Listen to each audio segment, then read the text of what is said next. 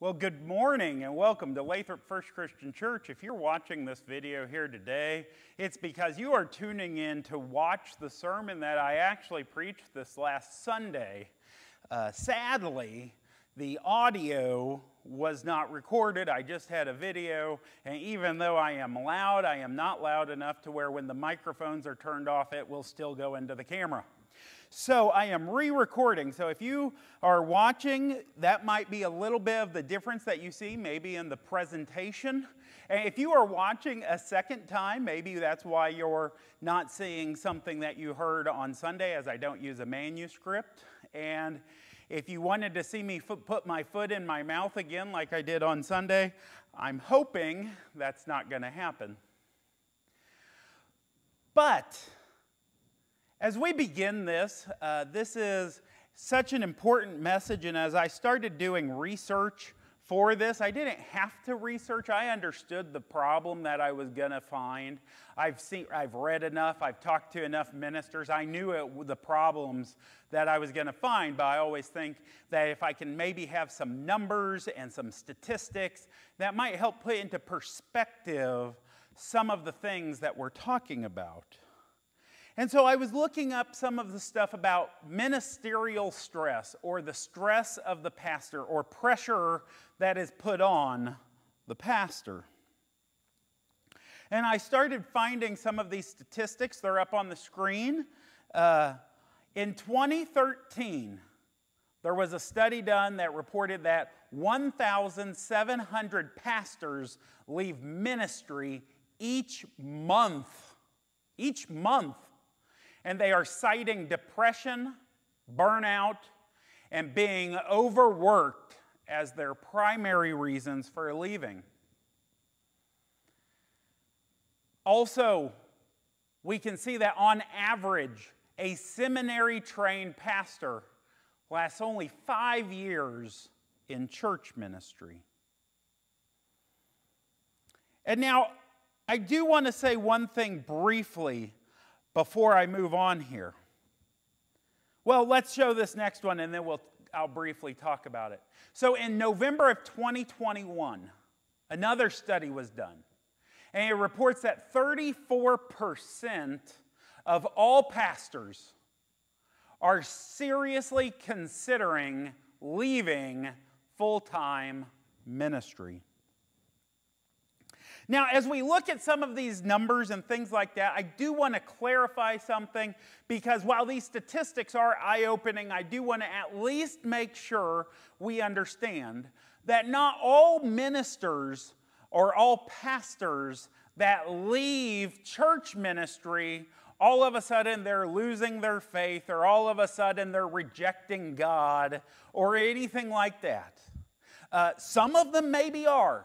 You know, some of them, they might be doing that. I don't want to say that doesn't happen. But a lot of these ministers and pastors, they are going into uh, other ministry callings like para church organizations, maybe poverty outreach, or they go into pregnancy centers or things like that. And maybe for some of them it's leaving, it's leaving full-time ministry, but they're still going to do a little ministry in the church. Okay? So I just wanted to clarify that, that not, may, not necessarily all those ministers leaving uh, church ministry are necessarily leaving the ministry or leaving the faith altogether. They're just not ministers in a congregational setting. But up there, we also have another statistic pastors are twice as likely to report feeling depressed compared to the general public. We also find out that 91%, that's a big number, 91% have experienced some form of burnout in ministry, and 18% say they are fried to a crisp right now.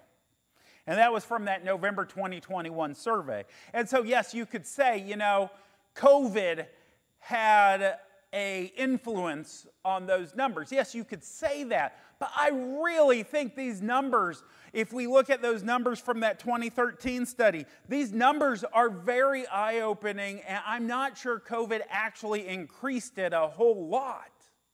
I think this has just been a broad thing for quite a while. Another statistic we found, and this is the one that I find so sad 80% believe that their pastoral ministry has negatively affected their families. That being in ministry has not been good for their families. 80% believe that. And even worse, 33% say it was an outright hazard to have a family while doing ministry.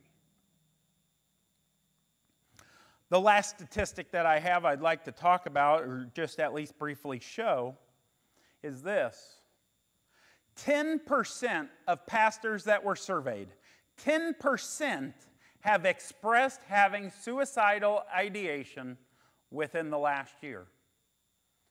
10% of ministers. And so these are big numbers. I hope they're eye opening numbers for you as well.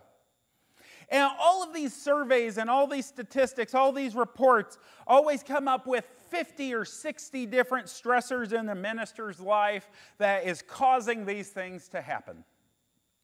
They're the reasons for these statistics. And I've taken a lot of those and I've kind of boiled them down into three categories of the stressors on a minister, the pressures on a pastor. The first one that we see over and over again in different ways is, is a lack of community or isolation or loneliness.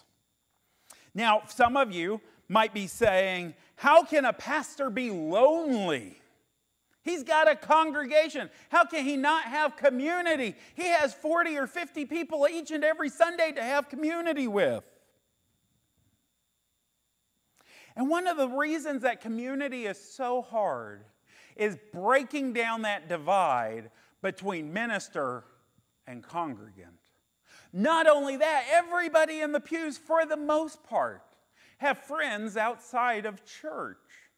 Whether it's at their work or maybe they were raised in the town and they have it that way, whatever it might be, you have friends from other locations, not just church. For ministers, for the most part, your friends are the church.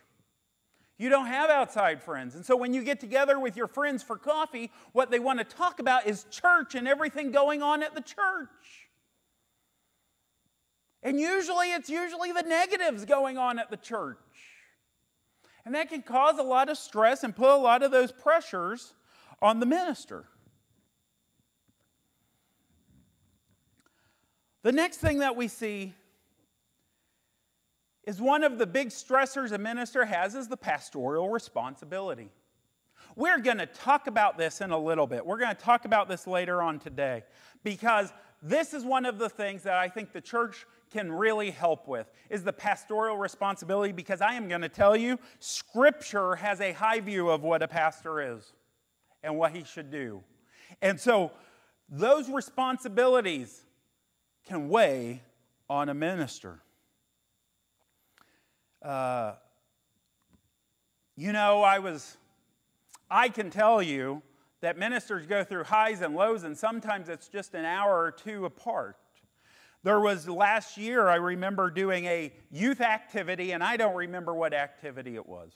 But I was doing a youth activity, and as soon as it was over, I was leaving to get in my vehicle to drive over to Oak Ridge Nursing Home because a member of the congregation was over there dying. And I went and I sat with that family.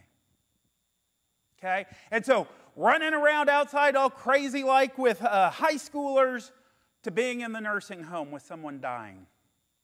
It's just an emotional roller coaster ride, and yet those are the pastoral responsibilities. And never forget that no matter what happens on Sunday, there is still a sermon that needs to be preached. I'm not complaining. I don't want you to think that I'm complaining. I'm not complaining. I'm just uh, being real with you, so to speak. I'm just letting you in on some of these stressors that a pastor has. And there's a reason I'm doing that. We're going to get there. I promise. We're going to get there, okay? The last real stressor that I see whenever I look at these surveys and all the different things that come up is this expectations. Expectations from the congregation and expectations from the pastor or the minister themselves. Now, when I'm talking about this, sometimes people think I'm t- primarily talking about expectations on my family or the minister's family. And you know, ministers, I do think largely live in that glass, that proverbial glass house where everybody is watching the spouse and the kids and how things are happening. So uh, they, those family members are held to a higher expectation than the rest of the congregation. And I do think that is unfair, but I do think that's something that happens. But that's also not necessarily exclusive to pastors. We have school superintendents, both current in the church, and we also have the daughter of a school superintendent, and Judy Wright, and they will tell you that school superintendents' families live in a glass house as well. Okay? Everybody's looking to them, and when they mess up, everybody wants to hammer home on the topic, okay? And, and so a pastor's family is not uh, unique to this. Many positions that are kind of public figure positions would have those types of expectations. But what I see here are those expectations, for instance, of people in the church saying, we need to focus on children. We need to focus on youth. We need to focus on young family. And the minister says, okay, I agree. And we're going to go at it. And we hammer home, hammer home, hammer home on that. And then it, all of a sudden, members of the congregation's coming up to the pastor going, well, what about us that's been here for a long time? Why aren't you doing anything with us? And so it's there's only so much a minister can do, and he can get stretched so thin, not just because of those pastoral responsibilities, but also because the expectations that have been placed on that minister, that pastor.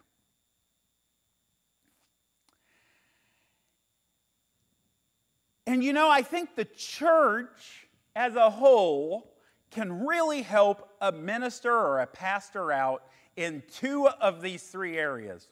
Lack of community, that minister's gonna have to figure it out, okay?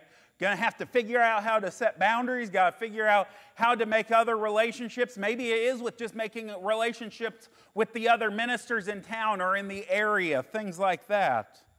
But the church can really help out with the idea of pastoral responsibilities and expectations.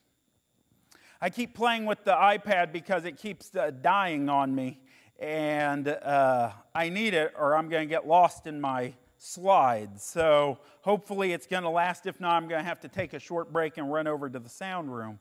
But I do think that the church can really help with those pastoral responsibilities and those expectations. You know why? Because our church is well suited in its leadership structure. Because I believe we have a very biblical leadership structure, and I think Scripture put this leadership structure in place for a reason. Where we have elders and we have deacons where the deacons are helping with those program type things in the church, and those elders are helping being, the, be, being those spiritual leaders, as we've talked about before. And one of the things that is so important for us to think about is this. In Scripture, elders are called three different things. Okay? In Scripture, you will see elders called elders, you will see them called overseers, and you will see them called pastors. Now, when we think about elders, we are thinking more about the qualification side of things, or that's what that term is primarily talking about. Now, another word for elders is presbyters. I put it in the wrong spot, okay? presbyters is also called elders. And so the Presbyterian church gets that name from the idea they are led by elders. But that term speaks more of the qualifications of that position. The next title we see used is overseers. Now, in some Bible translations, you might see that word translated as bishops. And so, overseers or bishops, it's the same Greek word, just translated a little differently. And in that aspect, they are, we are focusing now more so on the responsibilities to teach rightly, for church discipline, or as Acts chapter 6 says, as we was looking at the book of Acts chapter 6 last week with the deacons, it talked about them administering the word, the administration of the word. And so that's that right teaching, that right doctrine type things, okay? And then the other term that is used to talk about elders in a church is pastor or shepherd. Pastor and shepherd come from the same word, okay? And so when you see pastor and you see shepherd, you can think of it as the exact same thing. And that role we see in Scripture is primarily almost always talking about focusing on people and their issues, whether it, we're talking about counseling or whether we are talking about helping somebody with a sin that they have in their lives and overcoming that, whether it's talking about visiting the sick or the shut ins. That's what we are talking about when we talk about that term pastor. And so these three terms are all used interchangeably, and they all talk about a different aspect or a different uh, thought when it comes to what an elder is.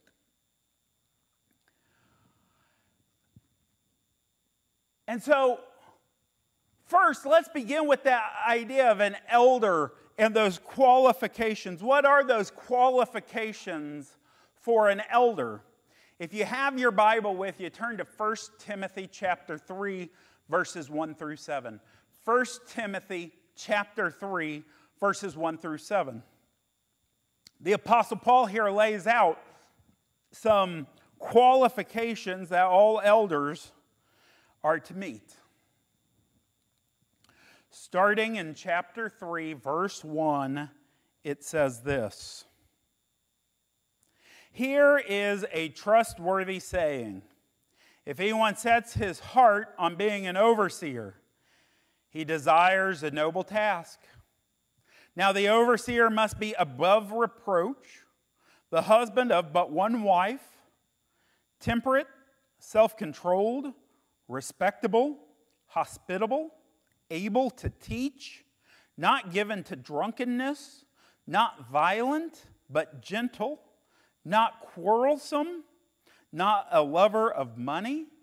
He must manage his own family well and see that his children obey him with proper respect. For if anyone does not know how to manage his own family, how can he take care of God's church? He must not be a recent convert, or he may become conceited and fall under the same judgment as the devil. He must also have a good reputation with outsiders so that he will not fall into disgrace and into the devil's trap. And so, as we read this, we can really see two different things, two different broad categories. If we paint this, uh, these qualifications with broad brushstrokes, we can see two broad categories of qualifications. The first one is about how somebody lives morally.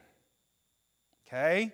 We can see that. We can see the how somebody lives as one of those qualifications where it talks about being temperate and being self-controlled, respectable and hospitable, those kinds of things.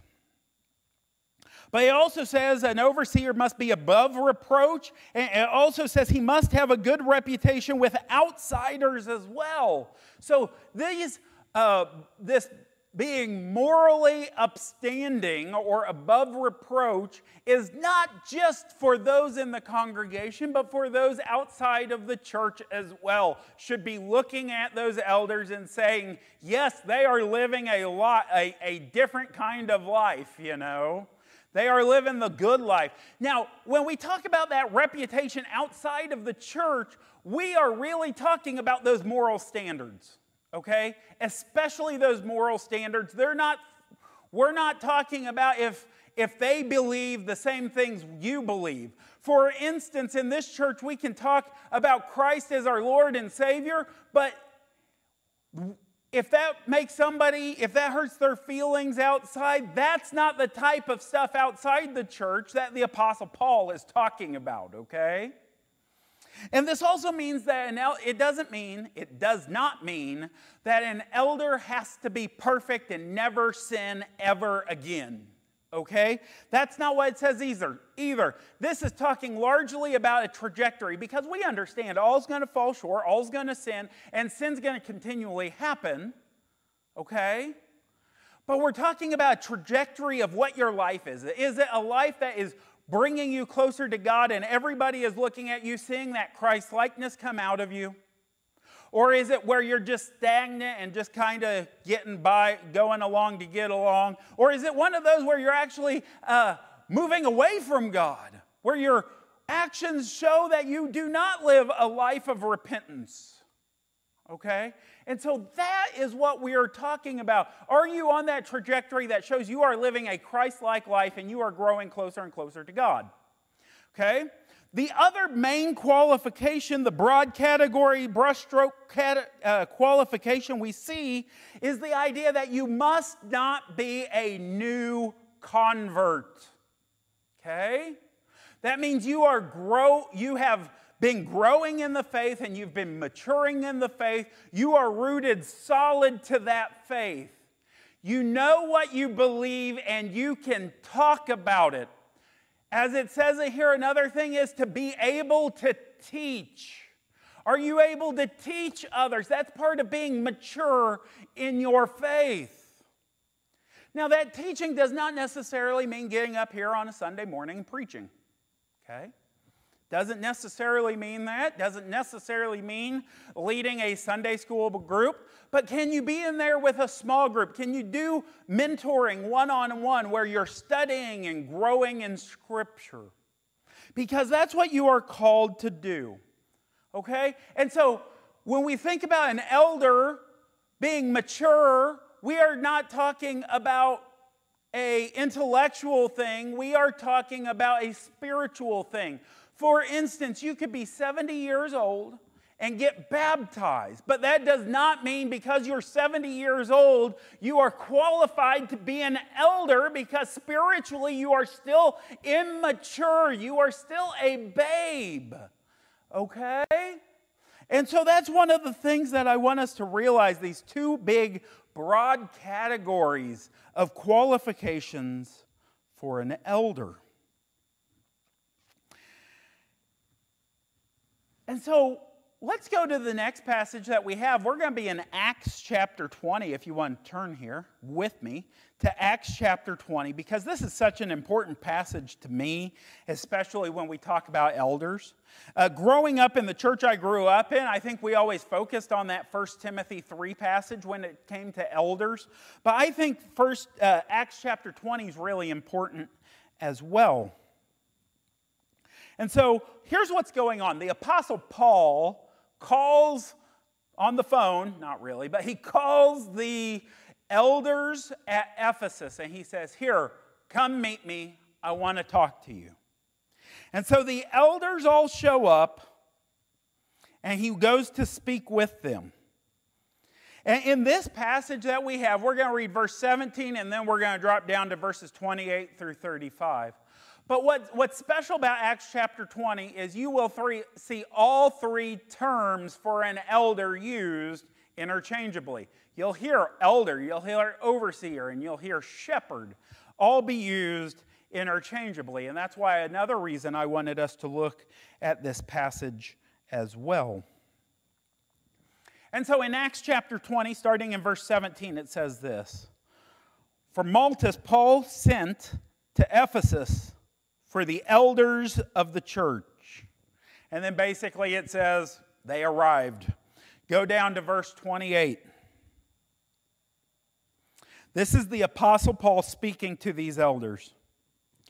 Keep watch over yourselves and all the flock of which the Holy Spirit has made you overseers. Be shepherds of the church of God, which he bought with his own blood. I know that after I leave, savage wolves will come in among you and will not spare the flock. Even from your own number, men will arise and distort the truth in order to draw away disciples after them. So be on your guard. Remember that for three years I never stopped warning each of you night and day with tears. Now I commit you to God and to the word of his grace, which can build you up and give you an inheritance among all those who are sanctified.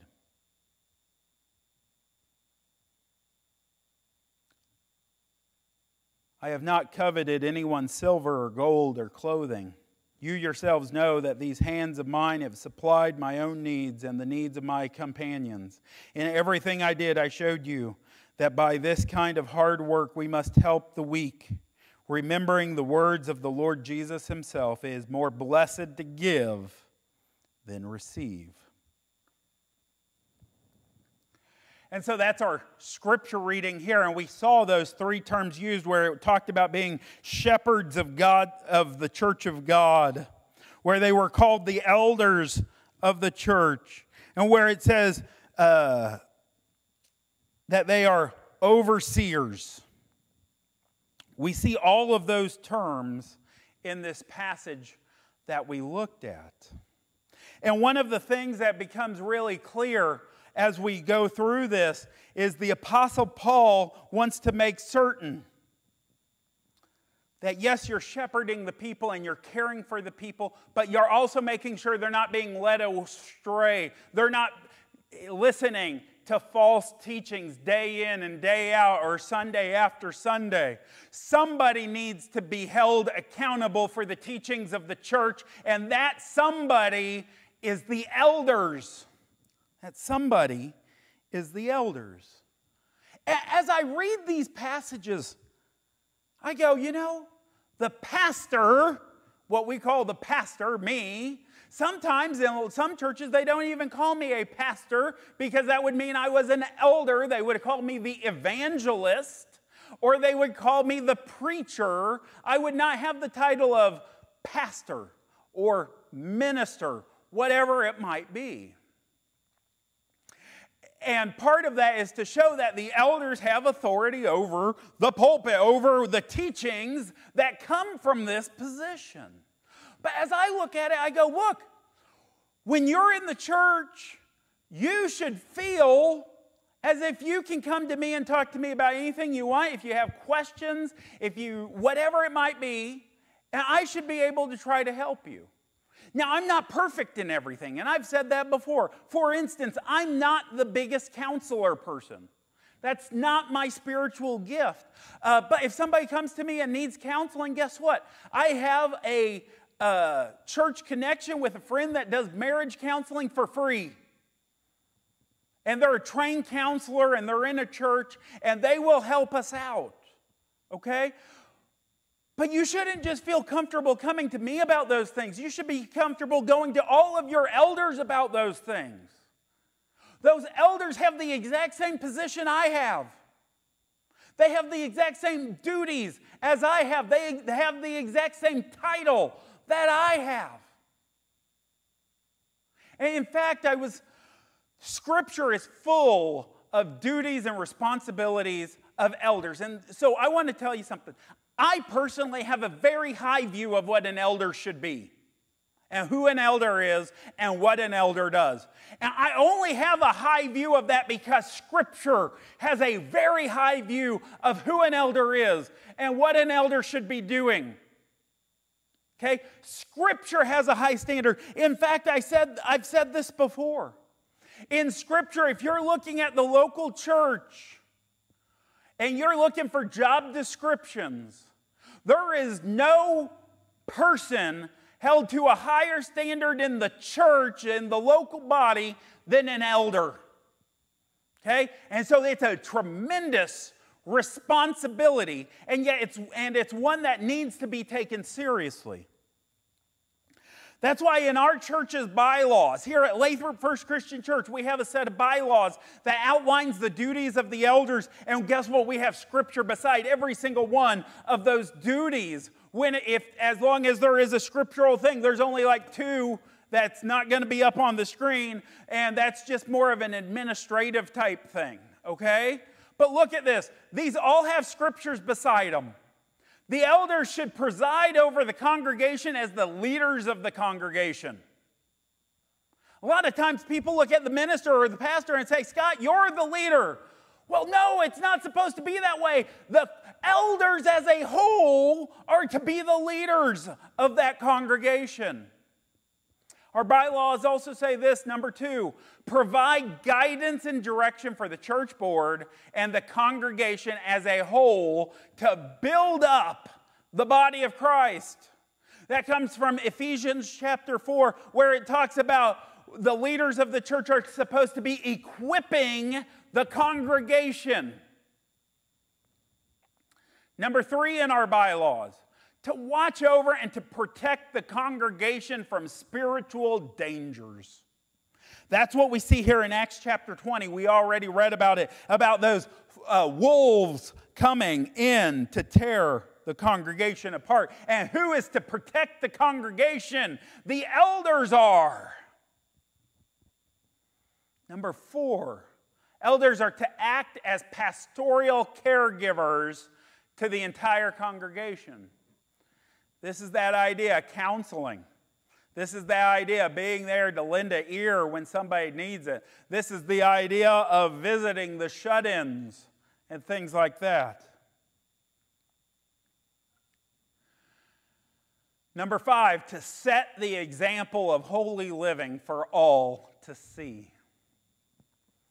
If you're in this church and you're saying, I want to see somebody who is living Christ like, you ought to be able to look at the, to the elders and say, there is an example of what it means to live a life holy and righteous, well pleasing to God.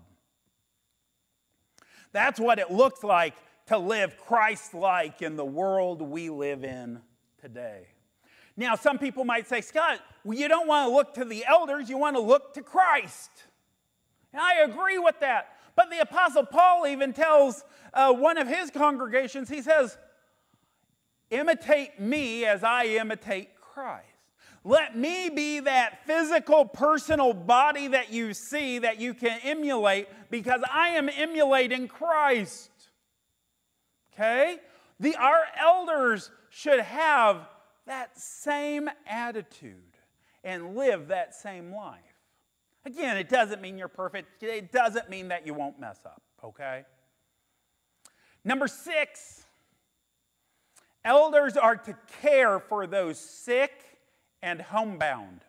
It's the elders that are to be going around to those sick, doing those hospital visits, going to the nursing homes, okay? Another thing about the counseling, which was back two steps, I know, is grief counseling. When somebody dies, it's the elders that need to be rallying around those families that have lost loved ones and saying, What can the church do to help you? Okay? And the last one we have in our bylaws that have that scriptural reference is be w- willing to continually learn as well as teach. Okay? And we saw that when it came to those qualifications about continually growing and about teaching others. And so these are the expectations of elders from Scripture. And our church has simply just taken it and outlined it in our bylaws to say it's our expectations of elders as well. If it's good enough for Scripture, it's definitely good enough for us. Okay? And so that is the expectation. Now, if we have elders that take their responsibilities and duties seriously, that minister on Sunday mornings, that pastor of the church, yes, he's called to do all those things as well, but his load is lightened tremendously. When if somebody's having struggles and stuff, they feel comfortable enough to go talk to an elder instead of the minister. That's great. You're not hurting my feelings. I'll, you can come listen. I'll come listen to you too. I'll come talk with you. That's great. But when you feel comfortable enough to do that with elders, that's what we're called to do. That's what those elders are there for. And you know, I really believe this.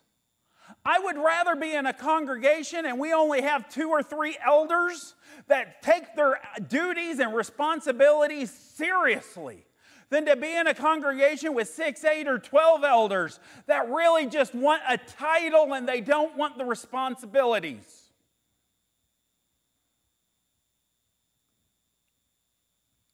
Because I really do think our church structure that is the biblical church model for leadership was created to make sure all the duties and responsibilities that they didn't just fall on one person. And yet, so often, that's how we, as not just this congregation, as a whole, usually look at the person that stands up in the pulpit on Sunday morning. He is the one leader, and he is the one person I'm supposed to call and have him do everything. But no, we have these elders that are there to be those spiritual leaders of the church as well. Let us pray. Lord God Almighty, we praise you and thank you for the blessings you've given us. And Lord God, in this congregation, we have many people that have served as elders in the past and currently serving.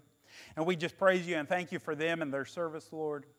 And we just ask the next group of elders as they are coming up, Lord, that they evaluate your word and your will. They evaluate and take seriously those responsibilities of being an elder. They, if they say yes to being an elder, they understand fully what that entails. Lord God, be with us this coming week as we go through uh, our lives. And when we run into struggles, Lord, remember we have many people we can reach out to. It's not just about the minister or the pastor, it's about the elders as well. In Christ we pray. Amen.